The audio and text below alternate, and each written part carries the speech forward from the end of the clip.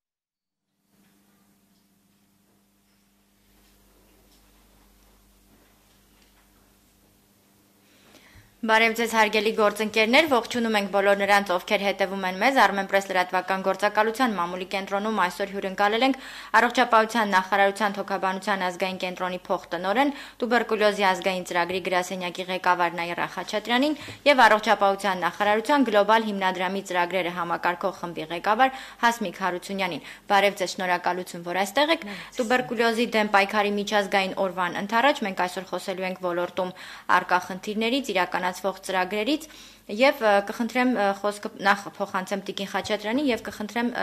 ներկայացնենք նախ օրը Տիկին Խաչատրյան առիթ է մեկ անգամ եւս անդրադառնալու այս հիվանդությանը ներկայացնելու թե ինչպիսի միտումներ կան ինչ վիճակագրական տվյալները եթե կարելի է նշեք թե այս տարի ինչ խորագրով է նշվում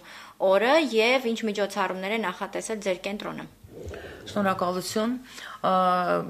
Վաղը մարտի 24-ը տուբերկուլոզի դեմ պայքարի միջազգային օրն է։ Պետք է նշեմ, որ սա համաշխարհային համաշխարհային օր է, որը նշում են բոլոր այն կառույցները, որոնք որ բոլոր երկրներում, որտեղ որ իրականացնում են տուբերկուլոզի դեմ պայքարի միջոցառումներ, ըստ էության այն արդեն 100 տարվա եւ ավելի պատմություն ունի այդ օրը նշել է եւ հիմնականում կապված է այն իրադարձության հետ երբ որ Ռոբերտ Կոխը հայտնաբերել է տուբերկուլոզային ցուպիկը եւ պատմականորեն դա ձևավորվել է որպես տուբերկուլոզի դեմ պայքարի համաշխարհային օր յուրաքանչյուր տարի Հայաստանի Հանրապետությունում նույնպես Թոքաբանության ազգային կենտրոնի մեր տուբերկուլոզի ազգային ծրագրի կողմից ի հովանավորությամբ առողջապահության նախարարության իրականացվում են մի շարք միջոցառումներ, որոնք նպատակ ունեն հիմնականում ավելի շատ իրազեկելու մեր հանրությանը, հասարակության ազգաբնակչությանը, մեկ անգամ եւս խոսելու տուբերկուլոզի մասին, այն հիմնախնդիրների մասին, որոնք մենք ունենք երկրում եւ այն միջոցառումների մասին, որոնք իրականացնում ենք դրա դեմ պայքարելու կամ հաղթահարելու այդ խնդիրները ուղում։ Ըստ էության միջոցառումները, որոնք մենք պլանավորել ենք այս տարի, սկսվելու էին սկրինգային հետազոտություններում մարզերում, իսկ սկրինգային հետազոտությունները դրանք հիմնականում ուղղված էին լինելու տուբերկուլոզի ակտիվ եւ վաղ ձևերի հայտնաբերմանը, հիմնականում պլանավորված էին Սյունիքի մարզում, Գորիսի քրեակատարողական հիմնարկում, այցելություններ, մարզային կառույցներ, հանդիպումներ մարզային ներկայացուցիչների հետ, քննարկումներ, ուղղակի եղանակային պայմաններով պայմանավորված մենք մի փոքր փոփոխել ենք մեր գրաֆիկը եւ այդպիսի այդ մեր հանդիպումները կիրականացնենք ապրիլի առաջին տասնօրյակում։ Սակայն վաղը մենք ունենք մեծ կազմակերպված համաժողով, որտեղ եւ քննարկելու ենք եւ ներկայացնելու ենք այ այն ամեն ինչի մասին խոսեցինք եւ հիմնախնդիրները եւ ձեռքբերումները եւ մեր ապագա պլանները։ Միայն մարզային այցելությունը Սյունիքով է սահմանափակվելու։ Ըստ էության այս պարագային պլանավորել ենք Սյունիքում, որտեղ դա միջոցառում է մեկ ամբողջ օրվա, որը որ պետք է իրականացվի ազգաբնակության շրջանակներում սկրինինգային հետազոտություն, ֆլորոգրաֆիկ հետազոտություն, բժշկական խորհրդատվություններ, տվյալ մարզային կառույցի բժշկական հիմնարկություններում եւ իհարկե մեկ օր մեկ ամբողջ օր էլ պետք է իրականացնենք նմանատիպ հետազոտությունը Գորիսի քրեակատարողական հիմնարկում։ Եթե կարելի անցնենք նաև վիճակագրական տվյալներին, ինչպիսի պատկեր ունենք։ Ըստ էության պիտի նշեմ, որ վերջին 10 տարիների ընթացքում մենք ունենում ենք տուբերկուլոզի վիճակագրական կամ այսպես համաճարակաբանական իրավիճակի լավացում։ Հիմնական այն ցուցանիշները, որոնցով որ գնահատվում է տուբերկուլոզի համաճարակաբանությունը կամ իրավիճակը, դա հիվանդացությունն է, որը որ վերջին 10 տարիների ընթացքում նվազել է 4.4 անգամ։ Ըստ էության, եթե մենք համեմատելի ունենք 2011 թվականի հետ, երբ որ ունեցել ենք հիվանդացություն 56 1.2, ապա այս տարի արդեն 2021 թվականի ամփոփված տվյալներով մեր հիվանդացությունը 13.4 է։ Համաշխարհը 56.2 ինչ է։ Դա ցուցանիշ է, որը հաշվարկվում է 100.000 ազգաբնակչության թվի վրա։ Ինքը տոկոս չէ, ինքը ուղղակի ցուցանիշ է, այդպես է հաշվարկվում։ Ըստ էության դա բավականին լայն եւ մեծ ձեռքբերում է մեզ համար, որովհետեւ եթե մենք դիտարկենք մեր ռազմավարական ծրագրերը, որոնց շրջանակներում որ մենք պիտի իրականացնենք մեր ապագա եւս առաջիկա 5 տարիների գործառույթները, մեզ համար նիշներ, որpիսի մենք իջեցնենք եւ նվազեցնենք հիվանդացությունը տուբերկուլոզի մինչև 15 եւ դրանից ավելի ցածր։ Մենք արդեն իսկ հասել ենք այդ ցուցանիշին, բայց դա չի նշանակում, որ պետք է կանգ առնենք, դա նշանակում է, որ մեր միջոցառումները պիտի շարունակվեն եւ մենք պիտի պահպանենք եւ առաջ գնանք այն ինչ որ որ մենք ունենք ձեռք ենք բերել։ Ըստ էության պիտի նշեմ, որ դեռ 2019 թվականին մեր այդ ցուցանիշը 21 ամբողջ էր, այսինքն 100.000 ազգաբնակության մեջ մենք հայտնաբերել էինք 21 տուբերկուլոզի ակտիվ դեպքեր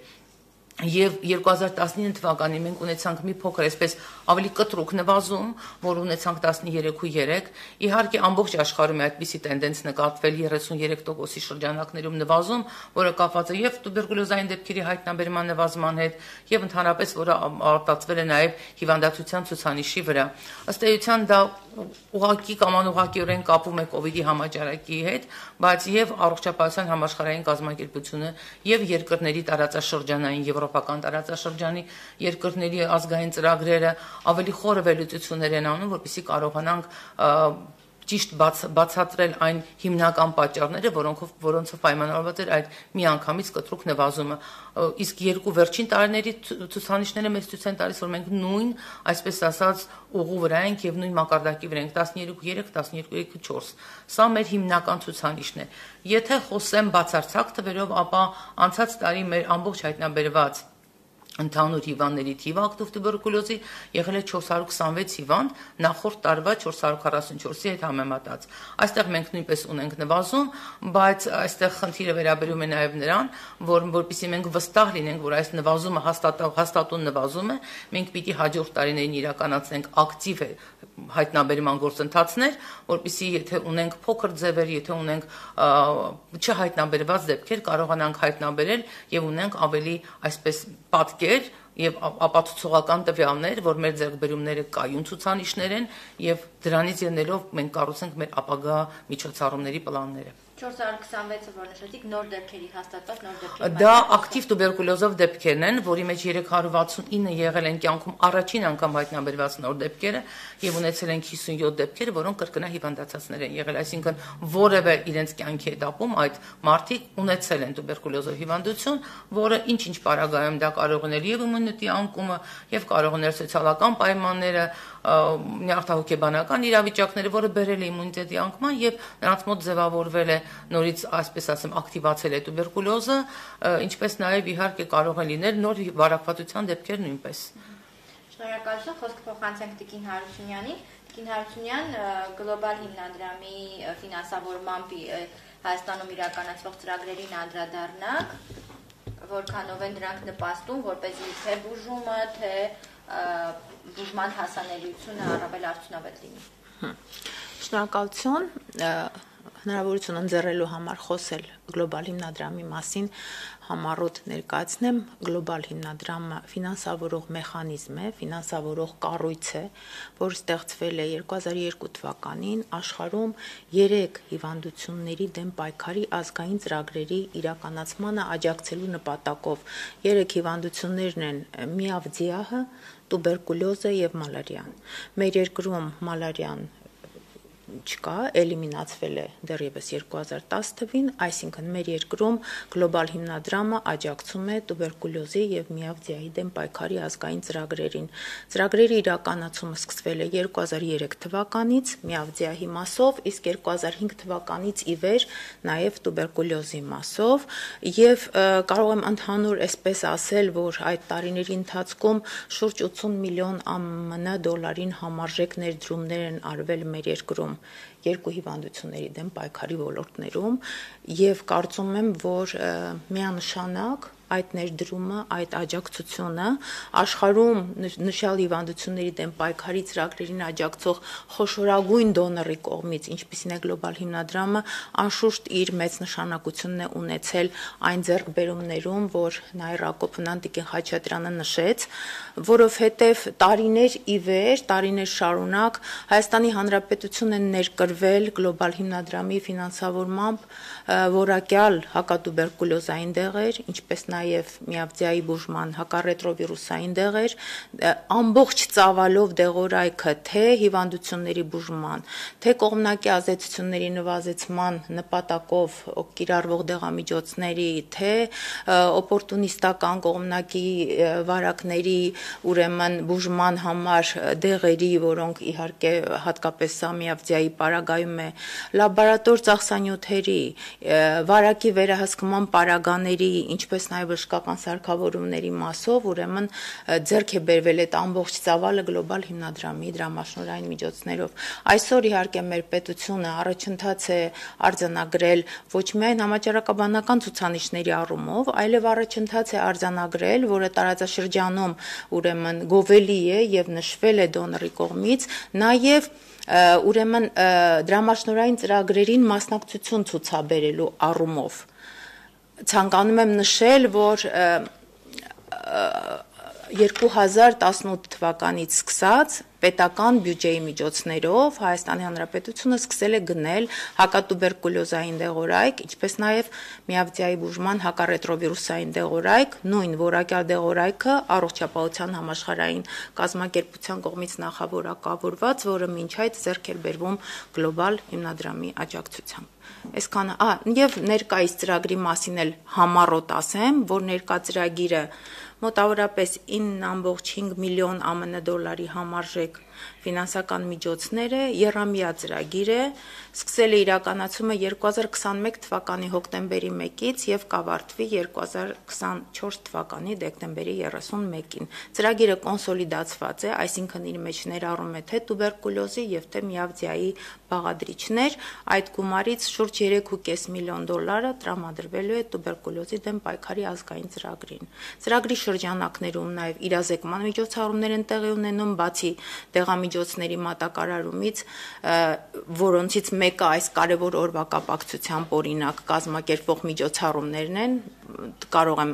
նշել հատկապես, ինչպես նաև իրականացվում են լայնածավալ կրթական աշխատանքներ, աշխատուժի շարունակական զարգացման աշխատանքներ եւ հիվանդների, նաև հիվանդների սոցիալ-հոգեբանական աջակցության ծրագրեր։ Այսքանը համառոտ։ Այսինքն, եթե ամփոփենք դեղամիջոցներ, սարքավորումներ, սոցիալ-հոգեբանական աջակցություն, իրազեկող, հաշվետվական, հաշվետվողական համակարգերի ամրապնդման աշխատանքներ, ինչպես նաև կրթական միջոցառումներ բուժաշխատողների համար։ Մենք ունենք տվյալներ, թե օրինակ վերջին 1 տարվա ընթացքում քանի բուժաշխատող է վերապատրաստվել, ինչ ծրագրեր են եղել եւ շարունակական լինելու են դրանք թե ոչ նու ծրագրերը անշուշտ լինելու են շարունակական, քանի որ ծրագրի իրականացնողը հանդիսանում է Թոքաբանության ազգային կենտրոնը, Տիկին Խաչատրյանը ավելի հստակ կարող է խոսել թվերի մասին, բայց որ կրթական ծրագրերը շարունակական բնույթ են կրելու, դա միանշանակ։ Շնորհակալություն, եթե կարելի Եթե ցույց տաք, եթե ցույց տաք, ես կավելացնեմ Տիկին Հարությունյանի խոսքին կրթական ծրագրերի հետ կապված նշեմ, որ գլոբալ հիմնադրամի աջակցությամբ եւ ԱՀԿ-ի աջակցությամբ նույնպես, որովհետեւ ԱՀԿ-ն նույնպես մեծ տեխնիկական աջակցություն է տրամադրում խորհրդատուների եւ նոր ծրագրերի նոր տեղադրման եւ տեղայնացման առումով մենք 2020 թվականին շատ կարեւորագույն մի միջոցառում ենք իրականացնել կամ հարթակ ենք ներդրել մեր կենտրոնում, դա հերավար կրթական հարթակն է, որը շատ կարեւոր էր արդիական էր եւ կարեւոր կ ូវ իդի ժամանակաշրջանում, երբ որ մենք չենք կարող իրականացնել այսպես դեմ արդեմ կամ արկա ուսուցման ծրագրեր, մենք ներդրեցինք այդ հարթակը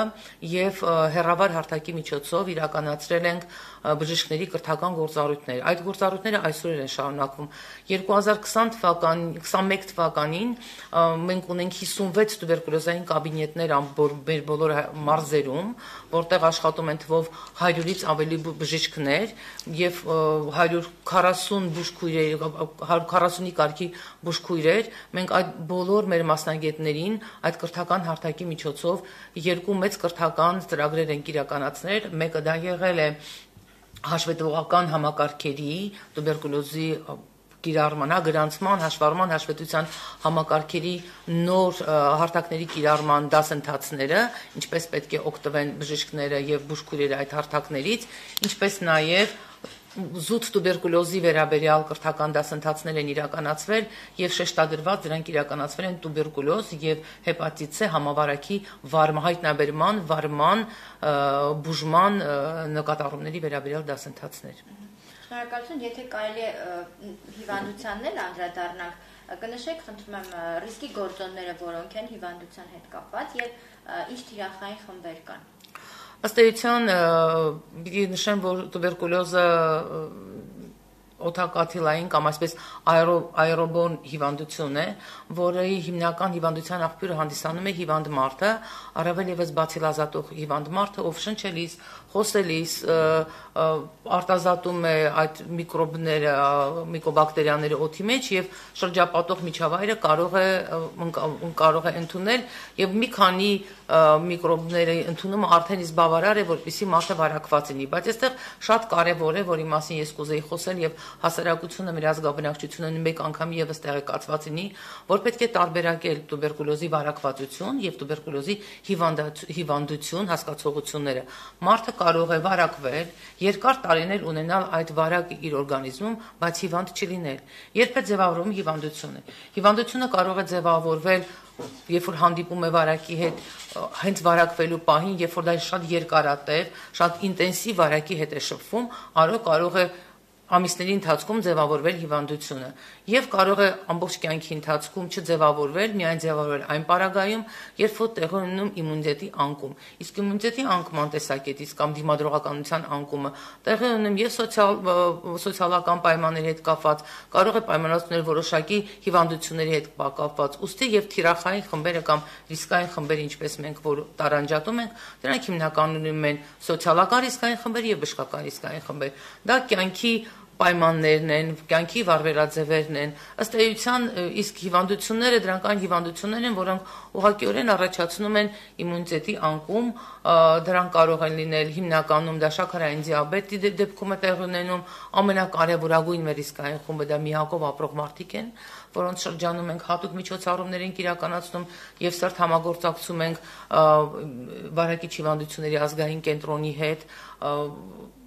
Իսկ ինչ վերաբերում է սոցիալական խմբերին, ես կուզեի այսօր նշել սոցիալական խմբերից փակ հաստատություններում ապրող բնակվող մեր ազգաբնակչությունը, դրան կարող են լինել տուն մեծահասակների տուն ինտերնատները, կարող են լինել մանկական հաստատությունները, նյարդահոգեբուժական դիսպանսերները, ինչպես նաև որոշակի խմբեր, դրանք ներերակային թմրամիջոց օգտագործողներն են, ընդհանրապես կախվածություններ ունեցող անձիկ,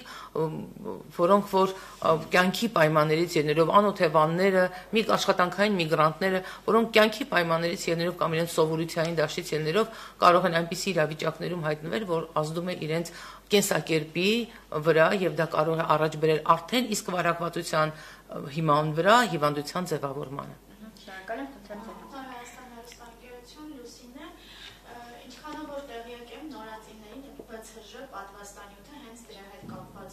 տևողությունը 4-ից 5 տարի է ազդեցության տևողությունը։ Դրա համար մարդկանց ավելի շատ առաջարկում է մինչև 30 տարեկան կրկնակի պատվաստում ստանալ։ Հիմա հարց 30 տարեկանից հետո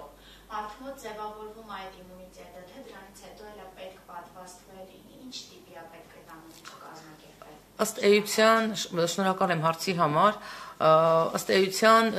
Հայաստանի Հանրապետությունում որը մենք ունենք պատվաստումների օրացույցային այդ սանդղակը եւ եթե դուք դիտարկել ունենք կտեսնենք որ մենք BCG պատվաստումը, որը որ տուբերկուլոզի կանխարգելման կարևորագույն քայլերից մեկն է, մենք իրականացնում ենք միայն նորածնային հասակում։ Մենք կրկնակի պատվաստումներ տուբերկուլոզի համար չունենք եւ դրանից հրաժարվել է ամբողջ եվրոպական տարածաշրջանը ԱՀԿ-ի, որովհետեւ գիտական հետազոտությունները եւ փաստացված տվյալները չեն խոսել նրա բարձր էֆեկտիվության մասին։ Ինչու՞։ Որովհետեւ հիմնականում այն BCG վակցինան, որը պատվաստանյութը, որը մենք օգտագործում ենք, այն հիմնականում իր արդյունավետությունը արտահայտում է մինչև 5 տարեկան երեխաների մոտ եւ առաջացնում է մանկական հասակում պահպանում է ման, մանկական հասակում երեխաներին տուբերկուլոզի ծանր ձևերից հիվանդանալուց, որոնք կարող էին ունենալ բարձր մահացություն, եթե երեխան հանդիպեր եւ հիվանդանար այդ հիվանդությամբ։ Սա է ամբողջ էությունը, մենք 30 տարեկանում, դրանից հետո մենք վերա այսպես ասած ռիվակցինացիաներ կամ նոր պատվաստումներ մենք չենք իրականացնում։ Իհարկե աշխարհը աշխատում է ստանալու համար փորձում է ստանալ այնպիսի պատվաստանյութեր, որոնք կարող են առաջացնել կայուն իմունիտետ նաև տուբերկուլոզի ժամանակ, բայց առայժմ չկան այնպիսի ձեռքբերումներ, նույնիսկ եվրոպական տարածաշրջանի, ամերիկյան դեղարտադրողների կամ չկան այնպիսի նյութեր, որոնք անգամ այսօր կլինիկական փորձարկումներ են անցնում մի ճշտում 426 հիվանդը, որ նշեցիք, դրանց թվում կային երեխաներ։ Այո, դրանց թվում մենք ունենք երեխաներ, 0-ից 17 տարեկան երեխաները այդպես երեխաներ շտան 25 դեպք ենք ունեցել, բայց մեզ համար կարևոր է նաև տարբերակել 0-ից 5 տարեկան երեխաների շրջանում, որ ունեցել ենք 10 դեպք, ընդ որում այդ 10 դեպքից 7 երեխաները մենք հայտնաբերել ենք արդեն իսկ տուբերկուլոզով հիվանդ մեծահասակների որպես կոնտակտ հետազոտման ժամանակ։ Իսկ ընդհանուր առմամբ այս 426 հիվանդ եթե դիտարկենք հիմնականում ձեր ձեր նշած փակ հաստատությունների շահառուները ոչ սրանք ընդհանուր ազգաբնակչության մեջ հայտնաբերված մեր հիվանդներն են մենք այսպես է սկրինգային հետազոտությունների արդյունավետությունը մինչև 5% է դա լավագույն ցուցանիշը կլինի եթե մենք կարողանանք հասնել դրան փակ հաստատություն հետազոտվելու մենք ունենք դեպք երբ որ վերջերս իրականացրել ենք սկրինգային հետազոտություն մեր բժշկական հաստատություններից մեկում, որ եւ այնտեղ կարող եմ ասել, որ հայտնաբերում էր մեր մոտ եղել է 2%-ի շրջանակներում, մենք ունեցել ենք 4 դեպք հայտնաբերված, որը արդեն այս տարվա հայտնաբերում է ստեյության 2022-ի ոչ թե 2021-ի ըստ էության այո այդ դեպքերը նույնպես հաշվառված են այդ 426-ի մեջ, բայց նրանք փոքր մասնաբաժին են կազմում, բայց դա չի նշանակում, որ մենք պիտի չգնանք ակտիվ հայտնաբերման, քանի որ փոքր են, որովհետև մենք այդ պարագայում հայտնաբերում ենք փոքր ձևեր, որոնց բուժում ավելի արդյունավետ է եւ միաժամանակ դա կարեւոր կանխարգելիչ միջոցառում է, երբ որ մենք կանխարգելում ենք փակ հաստատություններում կամ այդպես բնակվողների շրջանում վարակի հետագա տարածումը։ Իսկ մենք խոսեցինք իրազեկման աշխատանքներից, կանխարգելման աշխատանքներից, կասեք մեր բնակչությունը ինչի վրա պետք է ուշադրություն դարձնի։ Միգուցե ախտանշաններ կան, որոնք հենց ահազանգում են պետք է ուշադիր լինեն։ Այդ կանխարգելի ճացված ինչ է իրենց ենթադրում։ Ըստ էության իրազեկման տեսակից շատ կարևոր է, որ յուրաքանչյուր անհատ տեղեկացված լինի եւ իմանա ինչպիսի իրավիճակ մենք ունենք Հայաստանում, ինչպիսի ծառայությունների պետք է դիմի, երբ որ ունի այն համապատասխան ախտանիշները, որոնք կարող են խոսել տուբերկուլոզի մասին, Այդ իսկ պատճառ, այդ իսկ պատճառով մենք ժամանակ առ ժամանակ իրականացնում ենք իրազեկման աշխատանքներ եւ մեր առաջնային օղակի տուբ կաբինետ, տուբերկուլոզային կաբինետների բժիշկները, բուժքույրերը նույնպես իրենց հաստատություններում իրականացնում են նմանատիպ գործառույթներ, ինչպես հիվանդների, այնպես էլ նրանց կոնտակտավորների շրջանում։ Նշեմ, որ հիմնական ախտանիշները, որոնք որ ուշադրության արժանի են եւ պետք է պետք է ուշադիր լինեն մարդիկ եւ դիմեն այդ պարագայում բժշկի դա 2-ից 3 շաբաթ տևող հազն է խորպարտադրությամբ դա մինչև սուբֆեբրիլ ջերմությունն է, մինչև մինչև 38 աստիճանի տևող երկարատև ջերմությունը, քաշի կտրուկ անկումը կամ նույնիսկ 2 ամիսների, 2-3 ամիսների ընթացքում բավականին քաշի անկումը, թուլությունը, գիշերային քրտարտադրությունը երբեմն կարող է հազի հետ լինել նաև արյունախխում։ Այս պարագաներում, եթե անհատը տեսնում է, մարդը տեսնում է, որ ունի այս գանգատները, ցանկալի է անպայման մտածել տուբերկուլոզի մասին եւ դիմել բժշկի։ Իհարկե, ցանկացած պարագայում ամենակարևորագույն կանխարգելիչ միջոցառումը այն է, երբ որ մարդը ուշադիր է իր առողջության նկատմամբ եւ գանգատների դեպքում չի զբաղվում ինքնաբուժությամբ կամ ինքնահետազոտմամբ, այլ դիմում է համապատասխան մասնագետներին, ես խնդրում եմ, ես հորդորում եմ մեր ազգաբնակչությանը, եթե կունենաք այդպիսի գանգատներ, դիմեք ձեր տարածքային պոլիկլինիկաներ, որտեղ մենք ունենք ունենք ընտանեկան բժիշկներ, ունենք թերապևտներ, որոնք որ լսելով ձեր գանգատները, ուղղորդելով համապատասխան հետազոտությունների, եթե կլինի տուբերկուլոզի կասկած, կուղղորդեն նաև տուբերկուլոզային կաբինետներ եւ արդեն ամբողջ մասնագիտական համակարգը մեր կոգնի անհադին հայտնաբերելու այդ հիվանդությունը հնարավորինս վաղ եւ բուժելու այն արդյունավետ։ Տիկին Խաչատրյան դուք նշեցիք, որ համաճարակաբանական ցուցանիշների մասով առաջընթաց ունենք, իհարկե մասամբ անդրադարձակ, բայց պիտի խնդրեմ մի քանի գործոններ թվարկեք, ինչն է, ինչ ինչ որ որ գործոններն են ազդեցություն թողել նման արդյունքի վրա եւ որքանով այդ գործընթացում իրենց ազդեցություն ունեն մեր պետական ծրագրերը բժշկական ծառայությունների որակի բարձրացումը Ըստ էության ես խոսեցի համաճարակաբանական ցուցանիշներից հիվանդացության մասին, կուզեի խոսել նաև մի փոքր մահացության մասին, որը նույնպես շատ կարևոր է, դա վերջին 10 տարիների ընթացքում մահացության ցուցանիշը, որը նույնպես հաշվարկվում է 100.000 ազգաբնակության շրջանում, տատանվել է 1.7-ից 1.5-ի շրջանակներում։ Բայց վերջին այս տարին 2021 թվականին մենք ունենք 0.6 մահացություն։ Դա թվով եթե վերածենք թվերի, դա ընդամենը 18 մահվան դեպքն է ամբողջ տարվա ընթացքում գրանցված։ Նախորդ տարվա 44 դեպքի համեմատ դա իսկապես բավականին լավ ձեռքբերում է մեզ համար, որովհետև մենք ուրախ ենք դրա համար, ահա այս ցուցանիշի վրա կարող եմ ասել, որ հիմնական ազդեցությունը դա իսկապես որակյալ բժշկական ծառայությունն է։ Վախ հայտնաբերում, երբ որ մենք ճունենք բարթացած դեպքեր, որոնք դժվար են տրվում բուժման, որակյալ բուժում, այլ որակյալ դեղերով, ճիշտ ժամանակին սկսված, ճիշտ բուժման ռեժիմներով բուժումներն են, որի համար իհարկե շնորհակալություն մեր բոլոր գործընկեր կազմակերպություններին, որոնք աջակցում էին, ապահովում են եւ դեղորայքով, եւ ծախսանյութերով, եւ լաբորատոր հետազոտություններով այն մշտադիտարկումն է, որը մենք իրականացնում ենք մեր ծրագրային գործառույթի շրջանակներում, կապը, որը ունենք մեր կենտրոնի թոքաբանության ազգային կենտրոնի ստացիոնար ծառայության, ամբուլատոր ախտորոշիչ ծառայության եւ մարզային մեր տուբերկուլոզային կաբինետների բժիշկների հետ, երբ որ յուրաքանչյուր հիվանդ մեր ուշադրության կենտրոնում է։ Մենք հետևում ենք նրանց ընթացքին, աջակցում ենք բժիշկներին տեխնիկական աջակցությամբ, ինչու՞ չէ ժամանակ առ ժամանակ տեղում աշխատում իրենց հետ, տալիս բարդ հարցերի պատասխանը եւ հիվանդի համար ընտրում ենք մի այնպիսի բուժման մոդել պոլիկլինիկ կառույցներում, որը հիվանդը ինտեգրված է նաեւ հասարակությանը։ Պիտի ասեմ, որ գլոբալ հիմնադրամի հետ վերջին 2-3 տարիների ընթացքում մենք ներդրել ենք բազմաթիվ հիվանդակենտրոն մոդելներ ամբուլատոր բուժման կազմակերպման։ Դա նույնպես իր ազդեցությունն է ունեցել բուժման լավագույն արդյունքների վրա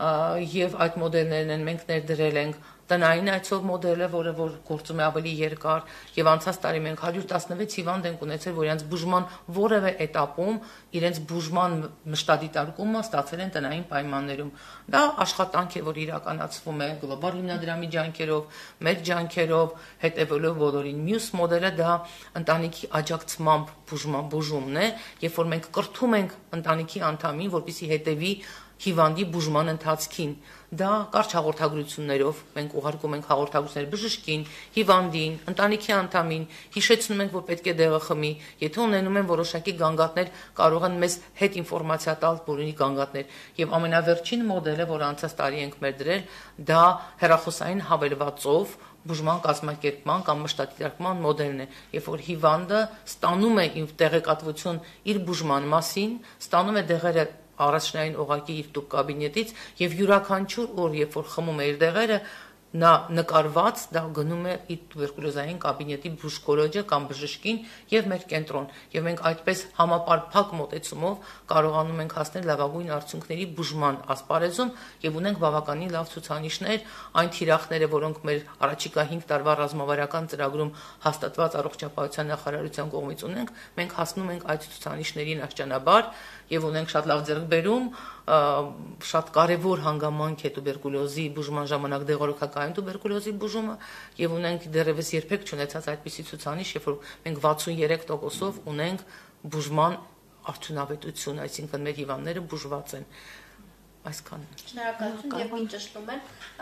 անվճար է ամբողջ Ա ես ուզում եի լրացնել Տիկին Խաչատրյանին, հատկապես բնակչության համար սա շատ կարևոր ինֆորմացիա է, որը նաև նպաստում է, ինքն էլ նպաստող հանգամանք է բուժման հաջող ելքերի հասնելու համար։ Տուբերկուլյոզը, տուբերկուլյոզի ախտորոշումը եւ բուժումը Հայաստանի Հանրապետությունում անվճար է, ամբողջ ծավալով տուբերկուլյոզը բուժելի հիվանդություն է, տուբերկուլյոզի բուժումը անշուշտ տևում է երկարատև, ինքը եւ հիմնական բարդությունն է դա մեր ծրագրերում, որի համար էլ մենք փորձում ենք ներդնել հիվանդակենտրոն այդ մոդելները, որի մասին արդեն պատմեց Տիկին Խաչատրյանը, բայց բուժելի հիվանդություն է տուբերկուլոզը եւ բուժումը, ինչպես նաեւ ախտորոշումը, հայտնաբերման գործընթացը միանգամայն անվճար է։ Եվ գլխավոր հորդորն այն է, որ բնակիչները ճուշացնեն։ Այո, ժամանակին դիմեն բժշկի։ Այո։ Այո։ Շնորհակալություն շատ, հարցերը սպառվեցին, դուք ավելացնելու բան ունեք։ Ես եզրափակելու համար ուզում եմ ասել, որ